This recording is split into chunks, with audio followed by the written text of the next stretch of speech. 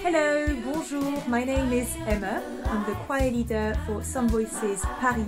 We're launching on the 23rd of May rehearsals will take place every Thursday at 7pm until half 8 at Living School, a school in the 19th arrondissement close to Botzaris and Laumières tube stations.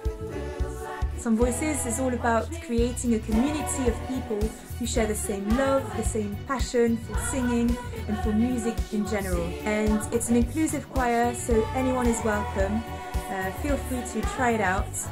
I was part of Some Voices myself when I lived in London, and it was such an extraordinary experience. I had so much fun.